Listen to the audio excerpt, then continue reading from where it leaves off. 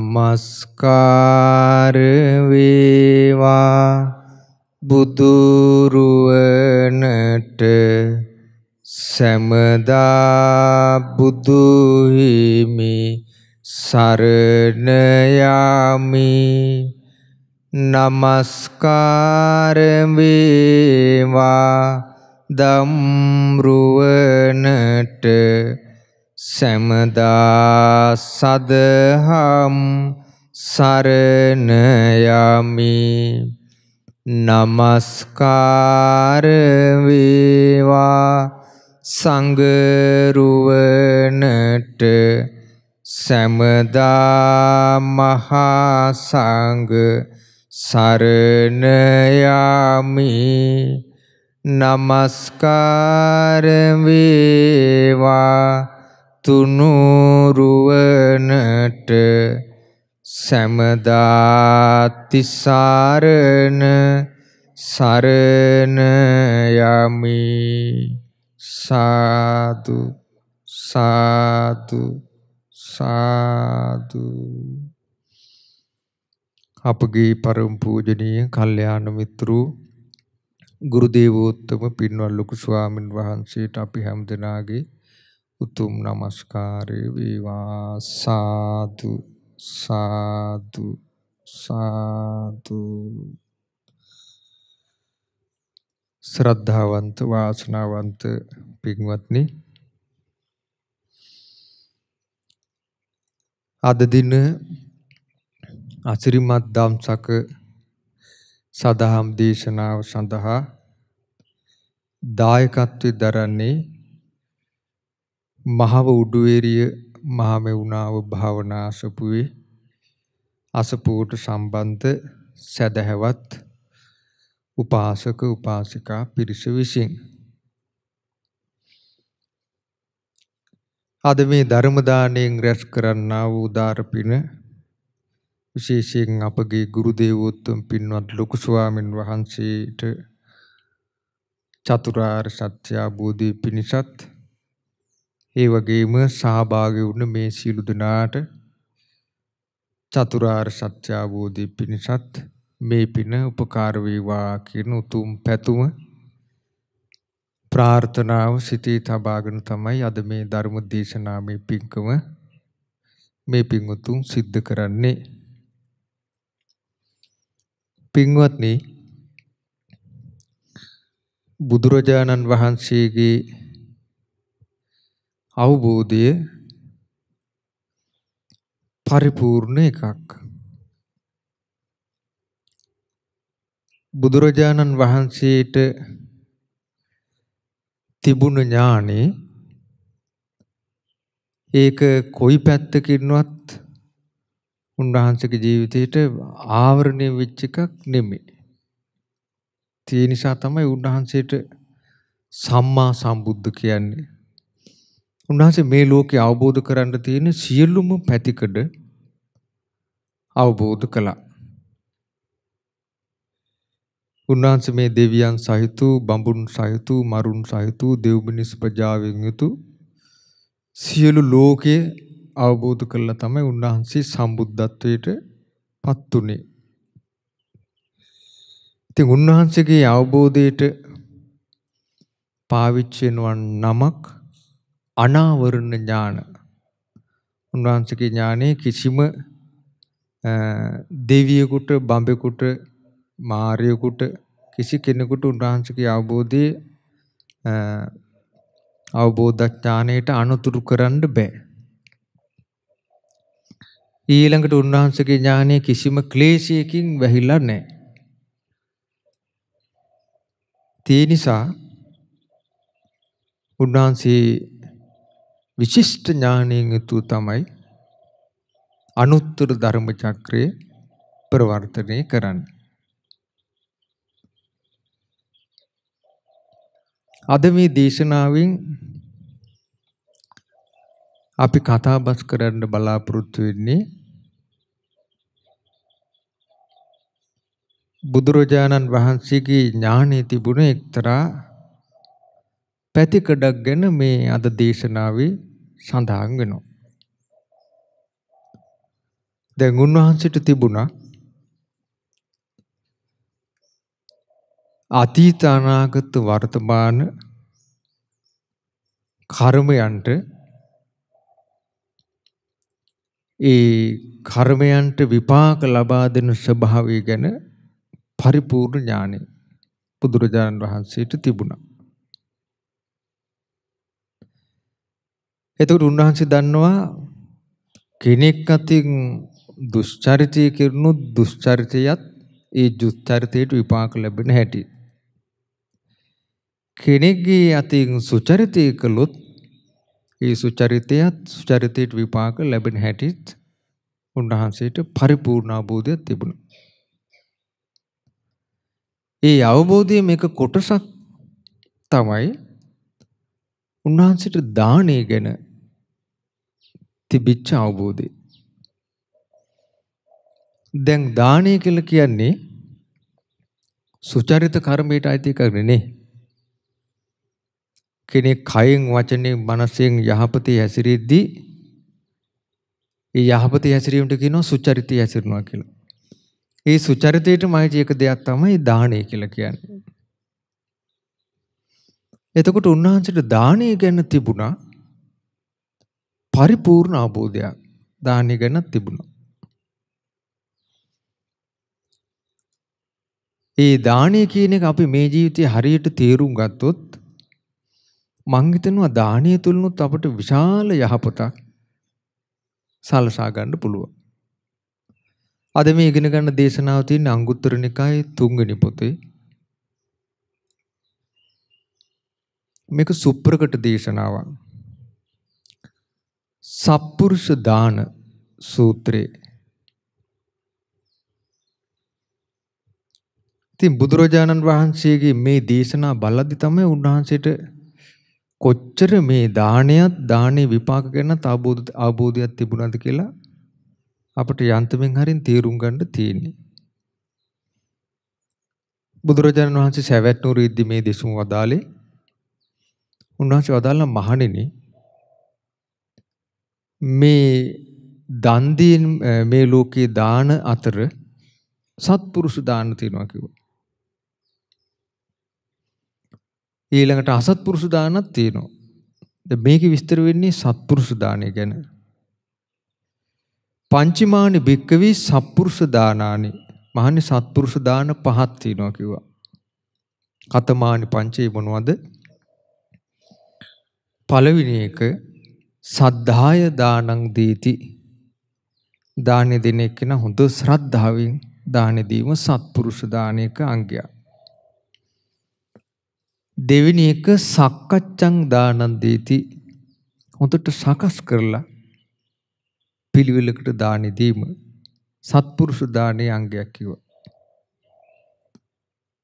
ඒ වගේම සත්පුරුෂ දානයක තියෙන ඊළඟ කාරණේ තමයි කාලීන දානං දීති සුදුසු කාලී දානේ පූජා කිරීම. ඒක තුන්වෙනි එක. හතරවෙනි කාරණේ අනග්ගහිත චිත්තෝ දානං දීති. ඒ කියන්නේ දානේ එයා නොබැදුණු සිතින් දානි දෙනවා. දාන දෙද්දී නොබැදුණු සිතින් ලෝභකම තියාගන්න නැතුව දාන දෙනවා. අනග්ගහිත චිත්තෝ දානං දීති. එතකොට ඒක හතරවෙනි එක. පස්වෙනි එක අත්තානංච පරංච අනුපහච්ච දානං දේති. එතකොට තමනුත් අනුන්වත් ගටන් නැතුව දානි දීම.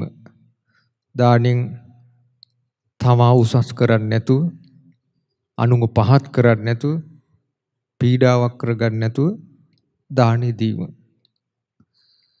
සටෝන් ওই කාරණා පහෙන් යොතු දෙන දානේ සත්පුරුෂයි. ඒතර බුදුරජාණන් වහන්සේ දේශනා කරන මහණෙනි මේ විදිහට දාණය දුන්නොත් ඒ දාණය අතිශය මහත්ඵලයි මහානිසංසයි. දැන් මේ සත්පුරුෂ දානයක තියෙනවා එක එක සත්පුරුෂ ලක්ෂණයට විශේෂ විපාක තියෙනවා. මේ සත්පුරුෂ දානාංග එතන පහක් තියෙනවනේ. මේ පහට පොදු විපාකයකුත් තියෙනවා. ඔන්න පළවෙනි එක බලන්න. දැන් පළවෙනි එකේ තමයි එතකොට හොඳ ශ්‍රද්ධාවෙන් පහන් සිතින් දානෙ දීම. දැන් පහන් සිත නැත්තම් චිත්ත ප්‍රසාදය කියලා අපි ඒකට කියනවා. චිත්ත ප්‍රසාදය ඔබ අහලා තින්නේ කී තැනක තියෙන්න ඕනද? චිත්ත ප්‍රසාදේ දානකෙදී තුන් තැනක තියෙන්න ඕන. ඒ පළවෙනි එකට කියනවා පුබ්බේව දානා සුමනෝ හෝති දාන දෙන්න කලින් එයා හොඳ පැහැදිලිවෙන් යුක්තයි. දෙවෙනි එක දදං චිත්තම් පසාදීති දානේ දෙද්දී හොඳට හිත පහදවනවා. තුන්වෙනි එක දත්ව අත්ත බණෝ හෝති දානේ දීලා සතුටු වෙනවා. උදාාර ප්‍රීතියකටපත් වෙනවා. ඔන්න ශ්‍රද්ධාවෙන් දීම කියන එක. ශ්‍රද්ධාව කියන එක දානයකට ගොඩාක් උපකාර වෙන එකක්. ඉතින් බුදුරජාන් වහන්සේ දේශනා කරන මහණෙනි සද්දාය කෝපන්න භික්කවේ දානං දත්වා මේකත් දැන් භික්ෂූන්ට වදාළ දේශනාවක්. ගිහි පිරිසකටත් නෙමෙයි මේක වදාළේ. මහණෙනි ශ්‍රද්ධාවෙන් දාන දීලා දාන දුන්නට පස්සේ යත් යත් තස්ස දානස්ස විපාකෝ නිබ්බත්ති යම් යම් තැනක ඒකේ විපාක හට ගන්නවද අඩ්ඩෝච හෝති මහද්දනෝ මහා භෝගෝ ගොඩාක් ධන දාන්නෙන් ආඩ්‍ය ජීවිතයක් යාට ලැබෙනවා. මහද්දනෝ මහා ධනවත් කෙනෙක් බවට පත් වෙනවා. මහා භෝගෝ. ගොඩාක් යාට බහුභෝග සම්පත්. බහුභෝග සම්පත් කියන ඉඩ කඩන් ගෙවල් දොරවල් වතු පිටි යාන වාහන ලොකු ව්‍යාපාර රන් රිදී මිල මුදල් මේ ඔක්කොම භෝග සම්පත්. ලැබෙනවා අර ශ්‍රද්ධාවෙන් දුන්නාම.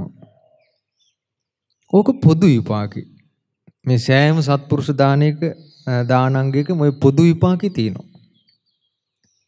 විශේෂ විපාකයක් යා ලබනවා ශ්‍රද්ධාවෙන් දීලා. මොකද ලැබුණ විශේෂ විපාකේ? අබිරූපෝච හෝති දස්සනී උපාසාදිකෝ. පරමාය වන්න පොක්කරතාය සමන්නාගතු. ලස්සන කෙනෙක් වෙලා යා උපදිනවා. අබිරූපයි දස්සනීයෝ එයාගේ දැක්ම අලාමකයි. දර්ශනීය රූප సౌందර්යයක් තියෙනවා. පාසාදිකෝ දුටුවන්ගේ සිත පහදිනවා. සාමාන්‍යයෙන් මිනිසුන්ගේ හැමෝම දැක්කහම හැමෝගම හිත පහදින්නේ එතකොට අනුන්ගේ දුටු දුටුවම් පහදින රූප సౌందර්ය කෙනෙකුට ලැබෙන්නේ පුණ්‍ය විපාකයක් ඇටියට. පාසාදිකෝ පරමාය වර්ණ පොක්‍රතය සමන්නගතු උදාර වර්ණ సౌందර්යයෙන් යුක්තයි. ඒ කොහොම දුන්නාම දෙක ලැබෙන්නේ ශ්‍රද්ධාවෙන් දුන්නාට පස්සේ. මං හිතන්නේ ලස්සන වෙලා උපදින්න අපි කවුරුත් අකමැති නැහැ. අපි තුන් දැන් අපි මේ ජීවිතේ මැරෙනවනේ කවුරුත්. ඊට පස්සේ ඔන්න දැන් අපි කොහේ යරින් උපදිනවා. ඊට අපි අහනවා හා දැන් ලබන පාර කැත කෙනෙක් වෙලා උපදින්න කැමති අත උස්සන්න කියලා. කවුරුවත් අත උස්සන්නේ ලස්සන වෙලා උපදින්න ආස කවුරුද කියලා අත උස්සන්න කිව්වොත් හැමෝම අත උස්සනවා. එහෙනම් ලස්සන කියන එක අපි ආස කරන එක. ඒක වරදක් නෑ. ඒතර ලස්සන වෙලා උපදින්නේ ශ්‍රද්ධාවෙන් දානේ දුන්නාට පස්සේ. හොඳට අපි හිතමු දැන් සංඝයා උදෙසා දෙනවා කියලා. සංඝයා උදෙසා දෙද්දී හොඳට සංඝයා කෙරේ සිත පහදවාගෙන දීම. දැන් බලන්න කොයිගොල්ලෝගේ ජීවිතේ වුණත් ඔයගොල්ලෝ දානයක් දානි දෙන්න පිළිබින්නේ කවදාරින් ඔයගොල්ලෝගේ බණ පදයක් අහලා එක්ක සංඝයා දැකලා ඒ නැත්තම් සංඝයා පින්ඩ පාති වඩිනවා දැකලා ඔයගොල්ලෝගේ හිත යන් දවසක පහදිනවද එදාට නේද ඔයගොල්ලන්ට දාන දෙන්න හිතෙන්නේ දැන් අපි තුමු කේ සමහර අය ඉන්නවා ඉස්සල්ලාම බණ අහනවා බණ අහලා එයාගේ හිත පහදිනවා පැහැදුණු ගමන් එයාට ඉස්සල්ලාම ඉන්නේ සමහරට භාවනා කරන්න නෙමෙයි ධර්මයේ ඉගෙන ගන්න ඕන කියන එකත් නෙමෙයින්නේ එයා ඉක්මනට ඇවිල්ලා අහන්නේ ස්වාමීනි අපිට දානයක් දී ගන්න විදියක් නැද්ද ඔබ වහන්සේලාට කියලා. අන්න පහන්සිත. පහන්සිත හරි උපකාරයි දානෙට. බුදුරජාණන් වහන්සේගේ කාලේ හොඳ සිද්ධියක් වුණා. ඒ චිත්ත ප්‍රසාදය කියන එක අපිට දානෙට කොච්චර උදව් වෙනවද කියලා එකෙන් බලන්න පුළුවන්. තේරුම් ගන්න පුළුවන්. බුදුරජාණන් වහන්සේ කාලේ දවසක් අපගේ මහා කච්චාන මහරහතන් වහන්සේ තවත් රහතන් වහන්සේලා හත් නමක් සමග දුර ඈත උන්වහන්සේලා වඩිනවා. මහා කච්චාන මහරහතන් වහන්සේ කියන්නේ චණ්ඩපජ්ජෝත රජුරුවන් හිටපු පුරোহিত බ්‍රාහ්මණයා. එතකොට මේ උන්වහන්සේට තිබලා තියෙනවා රත්තරන් පාට ලස්සන ශරීරය. ගෞතම බුද්ධ ශාසනයේ කෙටියෙන් වදාරන ලද ධර්මයේ විස්තර විභාග වශයෙන් දේශනා කිරීමේලා උන්වහන්සේ අග්‍රඨානාන්තර ලැබුවා. ඉතින් උන්වහන්සේ දවසක් ඒ ඈත ඒ චණ්ඩපජ්ජෝත රජුරුවන්ගේ උද්‍යානයේ වඩිනවා.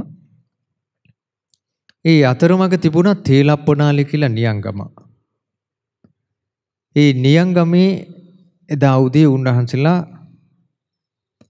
ඒ ගම හරහා දැන් උන් වඩිනවා. ඒ ගමේ හිටියා ගමේ තිබුණා සිටු පවුල් දෙකක්.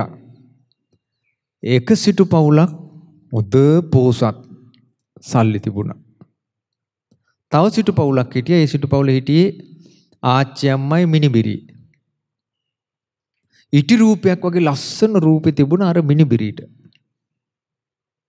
තරුණ දුවක්. ලස්සන රූපේ තිබුණා. ඉතින් කොණ්ඩයක් තිබුණා විලුඹ ළඟට දිගයි. දිග කොණ්ඩේ. අර සල්ලිකාර සිටු පවුලේ ඒ සිටු නෝනන්ට තිබ්බේ නැහැ එහෙම ලස්සන කොණ්ඩේ. ඉතින් ඒ සිටු නෝනා පණිවිඩයක් කෙව්වා. උඹේ කොණ්ඩේ දීපන් කහවණු 100ක් දෙනවා කියලා. සාමාන්‍යයෙන් ওই දූලා කොණ්ඩේ වවාගන්නේ ගොඩක් මහන්සි වෙලානේ අමාරු වෙන්නේ. ඉතින් ඒ දුවක බෑ මගේ කොණ්ඩේ විකුණන්නේ නැහැ කියලා. පස්සේ කාලේ ආයේ ගාන වැඩි කරලා එව්වා. කහවණු 200ක් දෙනවා කොණ්ඩේ දීපන් කියලා. මං හිතන්නේ හවරියක් හදාගන්න වෙන්න ඇති. ඉතින් ඊට පස්සේ මේ දුව දෙන්නේ නැහැ කොණ්ඩේ මං කොණ්ඩේ විකුණන්නේ නැහැ කිව්වා. අමාරුවෙන් හදාගත්ත කොණ්ඩේ. ආය කාලයක් ඇද්දී පණිවිඩයක් කහවණු 1000ක් දිරුවා. උඹේ කොණ්ඩේ දීපන් කියලා. මේ දුවනේ මේ කැමති උනේ. ඉතින් ওই අතරේ එදා මහා කච්චාන මහරහතන් වහන්සේ ඒ ගමේ දැන් වටිනවා පිණ්ඩපාතේ. හැබැයි මේ දුවගේ හිතේ තිබුණා ශ්‍රද්ධාව. ශ්‍රද්ධාව කියන එක බීජයක් වගේ කියලා බුදුරයන් වහන්සේ වදාළේ. සද්ධා බීජං කියලා තියෙනවා. ඉතින් එදා ඒ පිණ්ඩපාතේ වඩේදී අර ගේ ඉස්සරහින් වැඩියා. මේ දුව දැක්කා. දැකලා එකපාරටම අර හිතේ තිබ්බ ශ්‍රද්ධාව ඉස්සරහට ආවා. ඇවිල්ලා දූවල ගිහිල්ලා ළඟට ගිහිල්ලා වැඳලක ස්වාමීනි ඔබ වහන්සේලාට පින්න පාති ලැබුණද කියලා. ඊට පස්සේ උන්වහන්සේලා උත්තර දුන්න නැගණිය. තව ඉතින් වෙලා තියෙනවනේ පින්න පාති වඩින්නත් කියලා. ඒක තේරුම් මොකද්ද? තාම පින්න පාති ලැබිලා නැහැ. කිව්ව ස්වාමීනි වහන්සේලානේ ආර්යයන් වහන්සේලා කොහෙවත් වඩින්න එපා අපේ ගෙදරට වඩින්න මං දානි හදලා දෙන්නම් කියලා. ඔන්න උන්වහන්සේලා ගෙදරට වඩා වඩම්මාගෙන වඩා හිඳෙව්වා. දැන් මේ දුව ගේ ඇතුළට දිව්වා. ගෙදර තව කවුද ඉන්නේ? ආච්චි අම්මා. ආච්චි අම්මට කිව්වා ආච්චි අම්මේ ආච්චි අම්මේ ආර්යයන් වහන්සේලා වැඩියා ආර්යයන් වහන්සේලා වැඩියා ඉක්මනට දානෙට මුකුත් ලෑස්ති කරන්න කියලා. ඊට පස්සේ ආච්චම්ම කිව්වා අනේ දූ දානෙට ලෑස්ති කරන්න මුකුත් ගෙදර නැහැ කියලා. දැන් ඊට පස්සේ දැන් කරගන්න දෙයක් නෑ දානෙට ආරාධනා කළා. හැබැයි දෙන්න ගෙදර මුකුත් තිබ්බේ නෑ. වටිනා දෙයක් හැටියට මේ දුව ළඟ එකම එක දෙයක් තියෙනවා. ඒ මොකද්ද? කොණ්ඩේ කහවණු දහසක් වටන කොණ්ඩේ. ඊට පස්සේ දුව කිව්වා ආච්චම්මේ ඉක්මනට මේ කොණ්ඩේ කපලා ගිහිල්ලා අර සිටු පවුලට දීලා සල්ලි ඊළඟ එන්න කියලා. දැන් ආච්චම්ම හරි දුකයි මිත්තණිය. අනේ දුව මේ කොණ්ඩේ කොහොමද ඉතින් කපන්නේ කියලා. ඊට පස්සේ කිව්වා ආච්චම්ම ඉක්මනට මේ කොණ්ඩේ කපන්න. කතුරු අතට දුන්නා. ඊට පස්සේ ආච්චම්ම අඬ අඬ කොණ්ඩේ කැපුවා. කිව්වා ආච්චම්ම ඉක්මනට මේක දීලා සල්ලි ඊළඟ එන්න කියලා. පිටිපස්සේ දොරෙන් ආච්චම්ම ගියා. අපි දන්නවා කොච්චර වටිනා බඩු වුණත් කරදරයක් වෙච්ච වෙලාවකට සාධාරණ ගානකට විකුණ ගන්න පුළුවන්ද? බෑ.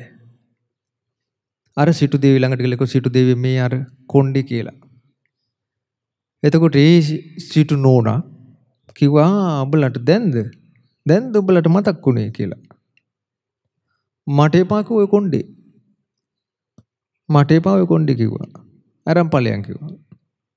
දැන් අර කපාපු කොණ්ඩේ හයි කරන්න දහපව. කරගන්න දෙයක් නැහැ. ඊට පස්සේ කිව්වා කපාපු කොණ්ඩේක වටනාකම කහවණු වටයි. කැමති නම් ඇන්න ඵලයන් කිව්වා. දීලා. අනේ අර අම්මා කමන්නේ ඒ කහවණු වට අරින් දෙන්න කියලා කහවණු වටට කොණ්ඩේ දීලා කහවණු වට අරගෙන ආවා. අරන් ඇවිල්ලා පින්ඩ පාත 8ක් සකස් කළා. රහතන් වහන්සේලාට. දැන් දඩ පිටි ගාලා ඉව්වා. පින්ඩ පාත අට සකස් කළා. ඊට පස්සේ ඔන්න දැන් උන්වහන්සේලාට පින්ඩ පාති පූජා කරනවා. දැන් අර දුව නෑ. දැන් කොණ්ඩේ කපලානේ. ඒතර මහා කච්චන මහ රහතන් වහන්සේ අහනවා අම්මා අර තරුණ දුවක් හිටියා නේද? ඒ නැගණියට එන්න කියන්නේ සංඝයාට වන්දනා කරලා පින් අනුමෝදන් වෙන්න කියලා. ආච්චම්ම ගේ ඇතුළට දීවා. දූලා කිව්වා දුයි දුයි දැන් යයියා. ආර්යයන් වහන්සේලා කතා කරනවා ඉන්දිපා ඇතුළට වෙලා යන්න ආර්යයන් වහන්සේලාට වන්දනා කරන්න කියලා. අනේ මේ දූ ලැජ්ජාවෙන් බිම් බලාගෙන ආවා. කොණ්ඩේ කොටටම කපලා. ඊට පස්සේ වන්දනා කරලා නැගිටිනවත් එක්කම හරි පුදුමයි. කොණ්ඩේ විලුඹ ළඟට දික්ුණා. මං හිතන්නේ මේක 이르දියා. බලන්න කාවණු 1000ක් වටිනා කොණ්ඩේ ඒ දුවට අතහරින්න හයි ආවේ කොහොමද? චිත්ත ප්‍රසාදය. දැක්කද? ඊට පස්සේ පින්න පාතාට අරගෙන උන්වහන්සේලා අහසින් වැඩියා චණ්ඩපජ්ජෝත රජුරුවන්ගේ උද්‍යානෙට. ඒ චණ්ඩපජ්ජෝත රජුරු හනිකාව උන්වහන්සේලා බෑ දකින්න. ඊට පස්සේ මේ සිද්ධිය අහලා රජුරු පුදුමයටපත් වුණා. මෙහෙමත් මිනිස්සු දාන්න දෙනවනේ කියලා. රජ්ජුරුව පැහැදිලා අර දියණිය ගෙනාවා රාජ අන්තපුරයට ගෙනල්ලා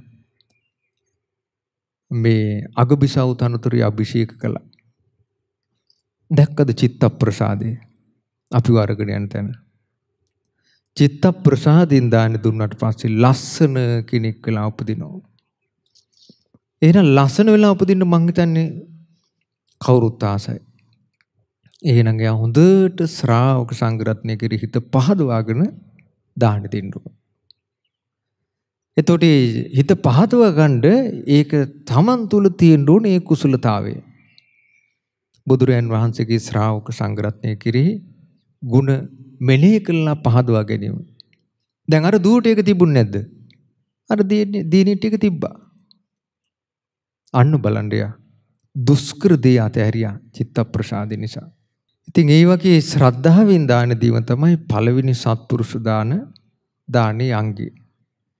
දෙවෙනි එක බුදුරජාන් වහන්සේ වදාරනවා සක්කච්ඡං කෝපන බික්කවේ දානං දත්වා යත්ත යත්ත තස්ස දානස්ස විපාකෝ නිබ්බද්දති මහණෙනි හොඳට සකස් කළා දානි දුන්නට පස්සේ යම් යම් තැනක ඒ දානේ විපාක ලැබෙනවද මහා භවභෝග සම්පත් ලැබෙනවා කිව්වා. ඒක පොදු විපාකය. විශේෂ විපාකෙ මොකද්ද?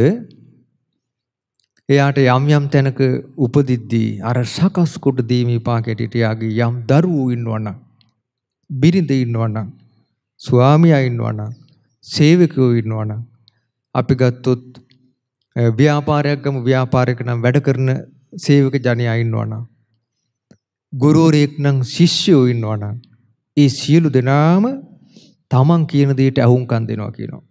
තේපි සුස්සු සම්ති සෝතං උදහන්ති අන්න බලන්න.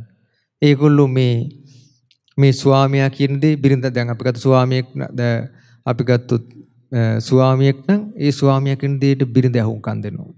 බිරිඳක් නම් බිරිඳ කියන දෙයට ස්වාමියා අහුම්කම් දෙනවා. ගුරුවරයෙක් නම් ගුරුවරයා කියන දෙයට ශිෂ්‍යයෝ අහුම්කම් දෙනවා. ඊළඟට අපි ගත්තොත් ගෙදර වැඩ කරන දාසකම් කරු පුරුෂයෝ ඉන්නෝ නම් ඇහුම්කන් දෙනවා. බලන්න අපි කවුරුත් ආස නැද්ද? Taman කියන වචනෙට අනිත් අය ඇහුම්කන් දීම. අපි හරි ආස එකක්. ඒක නැති වුණාම අපි දුක් විඳින්නේ නැද්ද? දැන් අපි ගත්තොත් ස්වාමියා බිරිඳ ඉන්නවා. ස්වාමියා කියන කිසි දෙයක් බිරිඳ ගණන් ගන්නෑ. ඔයා හම්බ කරලා ගෙනත් දෙන්න. තමුසේ හම්බ කරලා කියනවා. ඉතුරු හරිය මම බලා ගන්නම් කියනවා. එතකොට අර ස්වාමියා දුකසී වාසය කරන්නේ නැද්ද? ආ බලන්න. සත්පුරුෂ දාන දුන්නට පස්සේ ඒක එහෙම වෙන්නේ අපි තුන් බිරිඳක් ඉන්නවා සත්පුරුෂ දාන දීලා ඒ සත්පුරුෂ දාන පුණ්‍ය විපාකයෙන් එයාගේ ජීවිතය යුක්තයි. එයා යම් දෙයක් කිව්වට පස්සේ ස්වාමියාට අනේ අපි මෙහෙම කරමුද කියලා ස්වාමියා ඒක අහුම්කම් දෙනවා. අද ගොඩාක් ගෙවල් වල නැද්ද? දෙමාපියෝ යමක් කිව්වන් පස්සේ දරුවෝ සත පහකට එක ගණන් ගන්නෑ. අම්මලා සද්ද නැතුව ඉන්න අම්මලාට ඕවා තේරෙන්නේ මේ අපේ වැඩ අපි බලා ගන්නම් කියනවා. එතකොට දෙමාපියෝ දුකසේ වාසය කරන අනේ මේකුන්ට කිව්වට වැඩක් නැහැ. මේකුන් කිසි දෙයක් අහන්නේ අපි කියනවා කියලා. ඒ වගේ නඩු වෙනවා අපිට. තනිය ස්වාමිනී ළමයා කියන කිසි දෙයක් අහන්නේ පුදුම හිතුවක්කාරකමක් තියෙන කියලා. සමහර දෙමාපියෝ ඉන්නවා. අම්මයි තාත්තයි සමහරට වයසයි. අම්මා වයසයි සමහරට. ලොකු උස මහත් වෙච්ච දරුවෝ ඉන්නවා. අම්මා හිටු කීතන ඒ දරුවෝ ඉන්නවා. අම්මගේ වචනට ඉහිලින් යන්නේ නැහැ. මොකක්ද එහෙනම් මේකේ වෙනස? එහෙනම් ඒකේ තේරුම තමයි ඒ අම්මා සකසලා කලින් ජීවිතුල දාන දීලා. බලන්න මේ දානේ සම්බන්ධයෙන් බුදු කෙනෙක්ගේ මේ අවබෝධය අපිට හිතෙන් හිතා ගන්න පුළුවන්. දැන් අපිට කිව්වොත් කවරෙන් මේ දානේ තියෙන විපාක මොනවද කියලා අපිට මේ බුදුරජාණන් වහන්සේගේ අනුශාසනාවෙන් තුරව අහස පොළොව ගැටලන්න කල්පනා කරත් මේ වගේ දේවල් තේරුම් ගන්න පුළුවන්ද? මේක තමයි ශාස්ත්‍රූරයේ අවබෝධය. බුදුරයන් වහන්සේට පුදුම විදියට දානේ විපාක ගැන අවබෝධය තිබුණා. එතකොට මේ විදිහට දැන් අපි ගත්තොත් හොඳට එහෙනම් මේ ජීවිතය අපි සකස් කරන දානේ දී ගත්තොත් දැන් අපිට බුදුරයන් වහන්සේ උත්සාහ දාන්නේ පුදන්න පුළුවන්. සංඝයා උදෙසා දාන්නේ පුදන්න පුළුවන්. මහා සෑය උදෙසා දාන පුදන්න පුළුවන්. බෝධින් වහන්සේ උත්සාහ දාන පුදන්න පුළුවන්. දෙමෝපිය උදෙසා දාන්න දෙන්න පුළුවන්. වැඩිහිටි උතුමන් උදෙසා දාන්න දෙන්න පුළුවන්. සකස් කළා දුන්නට පස්සේ බලන්න එන විපාකය. ඒතර හරියට මේ දාණය පාවිච්චි කරගත්තොත් ඊළඟ ජීවිතේ පුදුම විදියට සාර්ථක කරගන්න පුළුවන්. ආන් ඒක. බුදුරයන් වහන්සේගේ අවබෝධයමයි අපිට මේ වගේදී පිහිට වෙන්නේ. ඒ නිසා හොඳට පුරුදු වෙන්න සකස් කළා දාන දීම. පිළිවෙලකට දාන දීම. ඒකේ විපාකේ තමයි තමන්ගේ දරුවෝ, බිරිඳ, ස්වාමියා, සේවක කාර්කාලදී ලස්සනට තමන් කියන දේ අහනවා.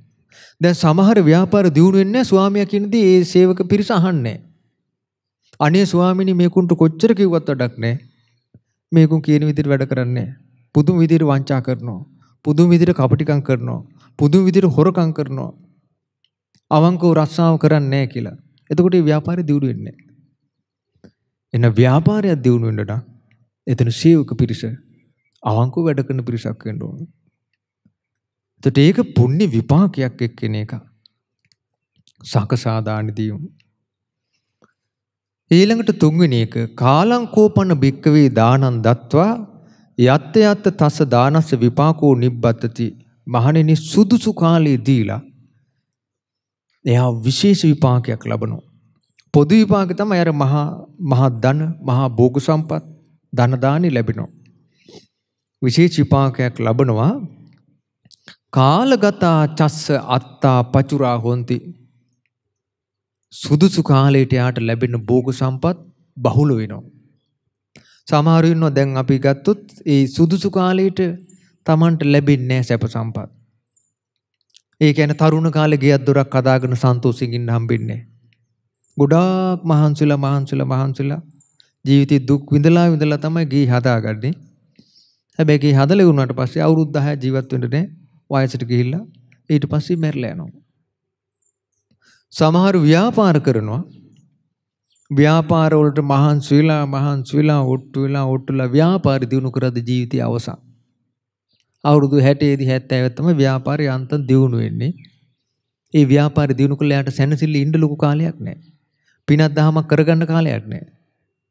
ඊට පස්සේ ව්‍යාපාර දිනු කළා යාන්තම් ණයතුරු සිවුරලා මේක එකලාශයක් වෙද්දී තව අවුරුදු 4ක් 5 ඉන්නේ යා මැරලා යනවා. පුතාට තමයි ඊට පස්සේ ඔක්කොම ටික හම්බ වෙන්නේ. ආන් ඒ වගේ වෙලාවට උත්සාහවන්තයාගේ පුතා ජයගනී කියලා තමයි කියන්න තියෙන්නේ.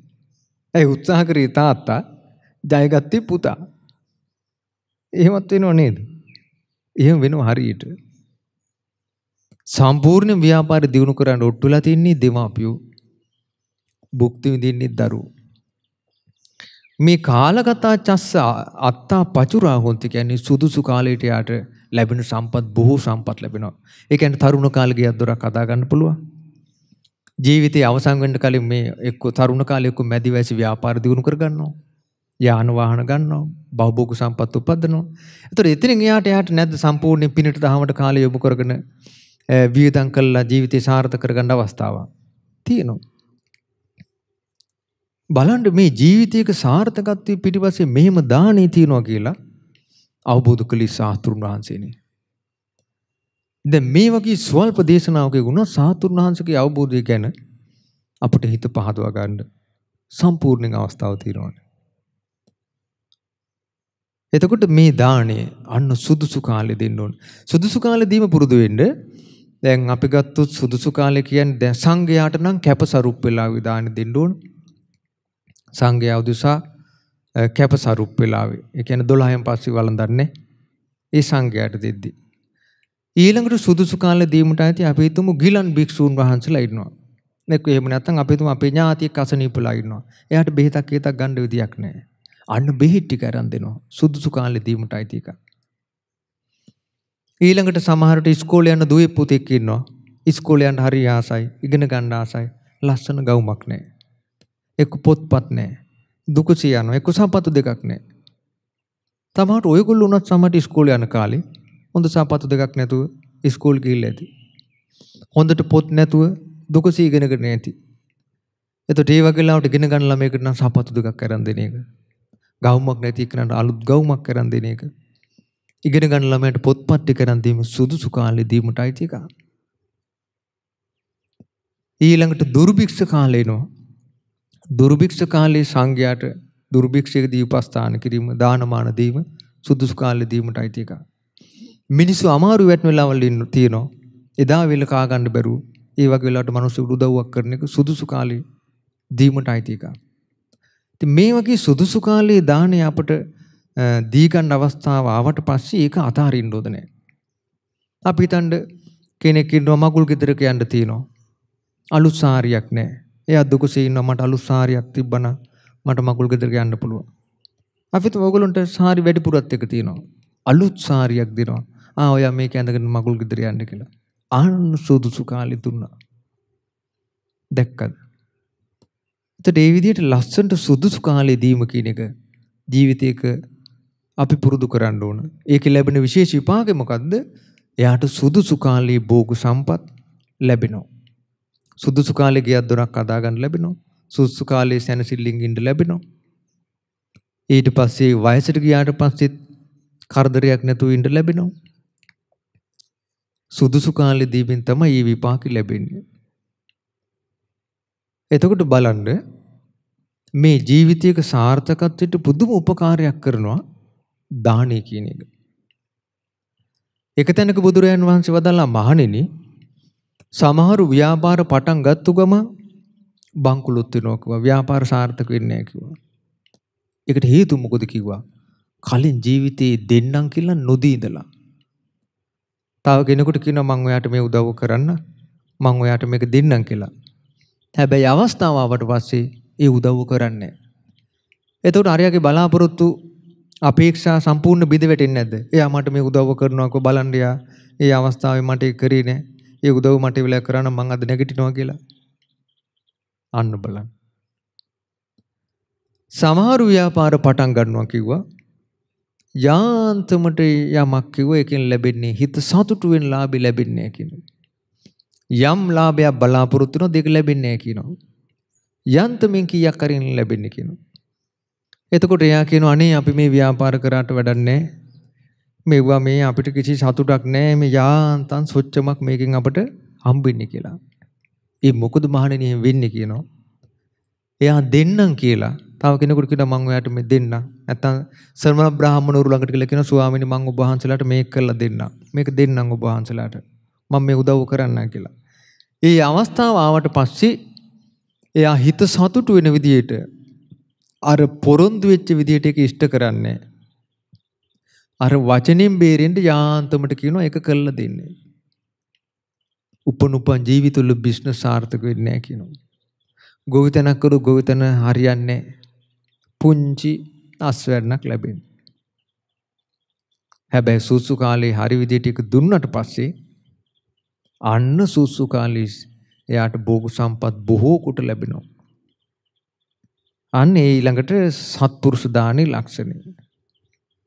දැන් එතකොට කාරණා තුනයි ඈ. ශ්‍රද්ධාවෙන් දීම සත්පුරුෂ දානේ ලක්ෂණය.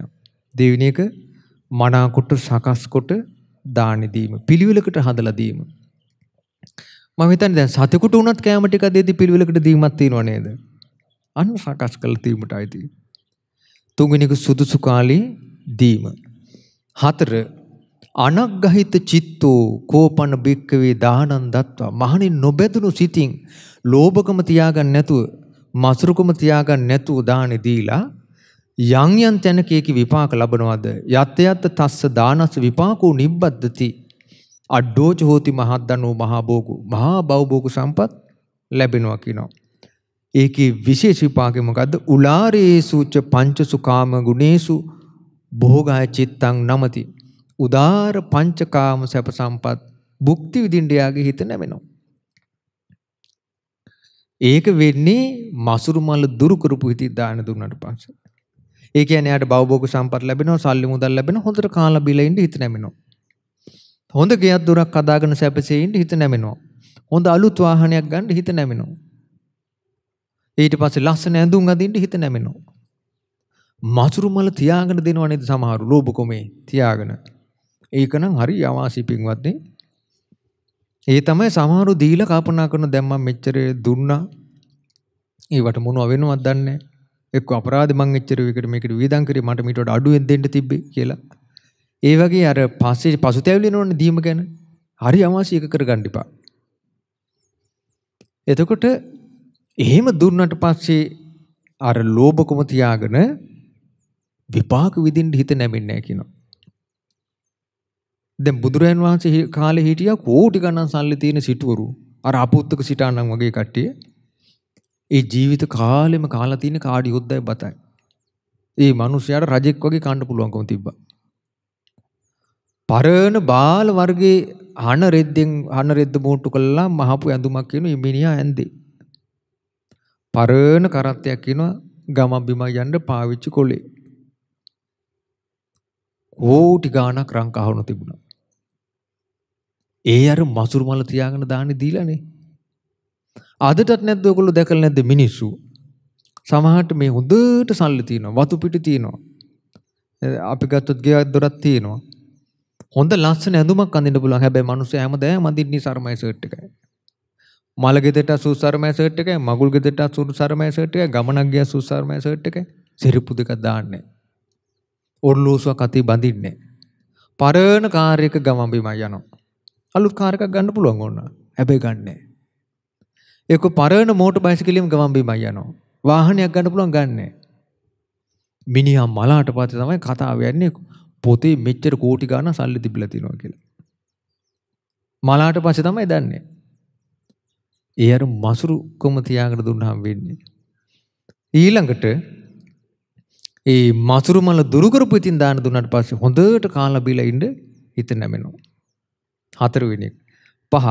අත්තානංච පරංච අනුපහච්ච කෝපන බික්කවේ දානන් දත්වා. අනුන්ව හෙලා දකින්න නැතුව. අනුන්ට ගරහන්න නැතුව. උඹලා මේ උඹලට නැති බැරි කට්ටිය. දැන්වත් කාපල්ලා දැන්වත් ගනිල්ලා කියලා ඒ ගරහන්න නැතුව. පහත් කරන්නේ නැතුව.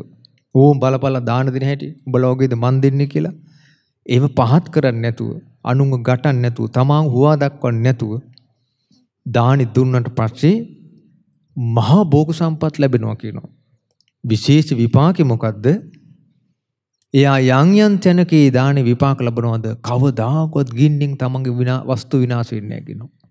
ජලයෙන් විනාශ වෙන්නේ නැහැ කියනවා. හොරහතුරන්ට ගන්න බෑ කියනවා. රාජසන්තක වෙන්නේ නැහැ කියනවා.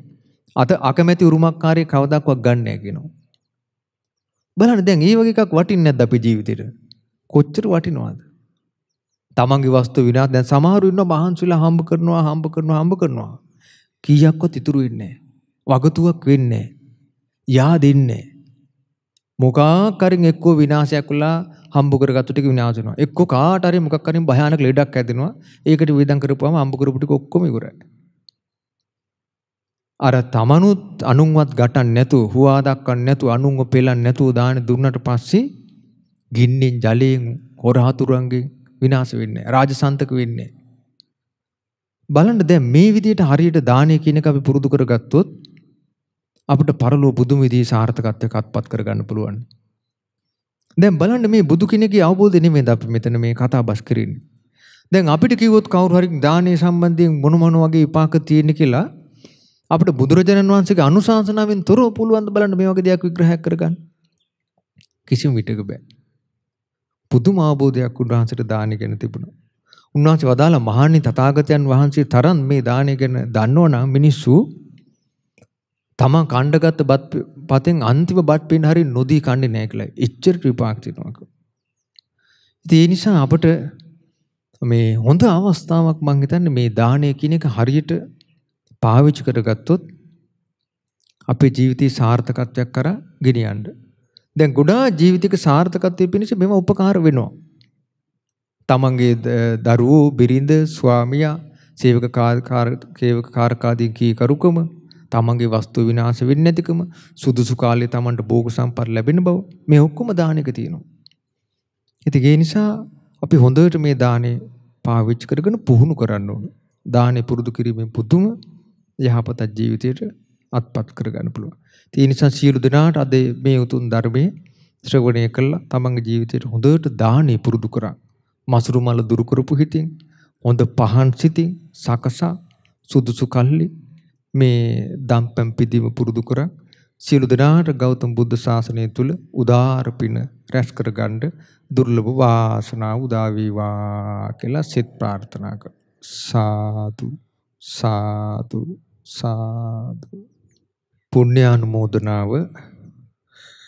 අද දින අසිරිමත් ධම්සක සදහන් දේශනාව සඳහා දායකත්වයේ දැක්වී මහ උඩුවේරිය මහමෙවුනා භාවනා අසපුවට සම්බන්ධ සදහැවත් පින්වතුන් විසින් අද මේ උතුම් ධර්ම දාණයෙන් රැස් කළා උදාහර පින අපි අනුමෝදන් කරමු. පළමු කොට පින් කැම සිළු දෙව්වරුන්ට සක් දෙවිඳුන් සතරවරන් දෙව් රජුරුන් ඇතුළු සදෙව්ලෝ වාසී අල්පේශාකි මහේශාකි සිළු දෙවියෝ මේ පින දැකබලා සතුටු සිතින් අනුමෝදන් වෙත්වා. ඒ සියලු දෙවියෝ දිව්‍යමය සැප සම්පතින් මඩ වඩා සැපීටපත් වෙත්වා දෙවියන්ගේ ධාර්මික දිව්‍ය රැකවරණේ පීඨ ආරක්ෂාව මේ පින්වත් සිළු දෙනාට සලසා දෙත්වා. දෙවියෝ දුතුම් චතුරාර්ය සත්‍ය ධර්මයන් අවබෝධ කර ගනිත්වා. සාදු සාදු. ඒ වගේම රැස් කළා වූ සීල පුණ්‍ය ධර්මයන් මහව මහමෙවුනා භාවනා අසපෝට සහ සම්බන්ධ සහ සම්බන්ධ සෑම සියලු දෙනා නම් මේ පරිලෝ යරට ඉදුන දෙමාපිය ඥාති හිත මිත්‍රාදී සියලුම ඥාති වර්ගයාට මේ රැස් කළා වූ උදාාර පින අනුමෝදන් වෙත්වා අනුමෝදන් වෙත්වා. පින් අනුමෝදන් වන්නා වූ සියලු ඥාති මේ පින් බලෙන් පරිලෝ වශයෙන් නිදුක් වෙත්වා නිරෝග වෙත්වා සැපයට පැමිණෙත්වා වහ වහ සංසාර දුකින් අත් මිදිත්වා කියලා සාදු කියන්නේ. ඒ වගේම රැස් කළා වූ සීල පුණ්‍ය ධර්මයන් අපගේ පරම පූජනීය ගුරු දේවෝත්තම කල්යාණ මිත්‍ර පින්වත් ලොකු ස්වාමින් වහන්සේට මේ පින අනුමෝදන් වෙලා උන්වහන්සේට දුක් නිරෝග සූපත් භාවයේ දීර්ඝායු සම්පත් සැලසේවා මහමෙවුන අසුපවාසී සීල ස්වාමින් වහන්සේලාටත් මේ රැස් කළා උදාර පින අනුමෝදන් වෙත්වා. ඒ වගේම සියලුම අනගාരികා මෑණිවරුන්ටත් මේ පින් අනුමෝදන් වෙත්වා පැවිදි අපේක්ෂක දූ දරුවන්ටත් මේ පින් අනුමෝදන් වෙත්වා. ඒ සියලු දෙනාට උතුම් චතුරාර්ය සත්‍ය අවබෝධයේ පිණිස මේ පින හේතුපකාර වේවා කියලා සාදු කියන්නේ. ඒ වගේම රැස් කළා වූ සියලු පුණ්‍ය ධර්මයන් අද මේ ධර්ම දේශනාවේ දායකත්වයේ දරු මහ වුඩුවේරිය මහමෙවුනා භාවනා අසපුවේ අසපුවට සම්බන්ධ සියලුම සදහැවත් උපාසක උපාසිකාවන්ට මේ රැස් කළා උදාාර පින් අනුමෝදන් වෙත්වා. ඒ දායකත්වයේ දරු පවුල්වල සියලු දෙනාටත් ඒ දූ දරුවන්ටත් උදව් උපකාර කළ සෑම සියලු දෙනාටත් මේ රැස් කළා උදාාර පින් අනුමෝදන් වෙත්වා. ඒ වගේම ශ්‍රද්ධා කාර්ය මණ්ඩලයේ සියලු දෙනාටත් ශ්‍රද්ධා මාසික ධර්ම දාන සමාජික හැම දෙනාටත් මේ පින් අනුමෝදන් වෙලා සියලු දෙනාට මේ පින් බලෙන් නිදුක් නිරෝග චිරජීවනයේ සැලසේවා. හැම දෙනාගේ දුක් කරදර බාධක දුරු වෙලා හිතන පතන දැහැමි ප්‍රාර්ථනා සමෘද්ධිමත් වේවා. දූ දරුවන්ගේ අධ්‍යාපන කටයුතු ਸਰව ප්‍රකාරයෙන් සාර්ථක වේවා. අසනීපෙන් පසුන සියලු දෙනාට මේ පින් බලෙන් නිදුක් නිරෝග චිරජීවනයේ සැලසේවා. හැම දිනාගේ දුක් කරදර බාධක දුරලා හිතන පතන දැහැමි ප්‍රාර්ථනා සමෘද්ධිමත් වේවා. සියලු දෙනාට උතුම් චතුරාර්ය සත්‍ය ධර්මයන් අවබෝධ කර ගැනීම පිණිස මේ පින හේතු වාසනා වේවා. සාදු සාදු සාදු. සියලු දෙනාට තෙරුවන් සරණයි. නමෝ බුද්ධාය. නමෝ බුද්ධාය. නමෝ බුද්ධාය නමෝ බුද්ධාය නමෝ බුද්ධාය නමෝ බුද්ධාය නමෝ බුද්ධාය නමෝ බුද්ධාය නමෝ බුද්ධාය නමෝ බුද්ධාය නමෝ බුද්ධාය නමෝ බුද්ධාය නමෝ බුද්ධාය නමෝ බුද්ධාය නමෝ බුද්ධාය නමෝ බුද්ධාය නමෝ බුද්ධාය නමෝ බුද්ධාය නමෝ බුද්ධාය නමෝ බුද්ධාය නමෝ බුද්ධාය නමෝ බුද්ධාය නමෝ බුද්ධාය නමෝ බුද්ධාය නමෝ මෙවැනි වටිනා ධර්මදේශනා ශ්‍රවණය කිරීමට ශ්‍රද්ධා ඩේලි YouTube චැනලය සබස්ක්‍රයිබ් කරන්න.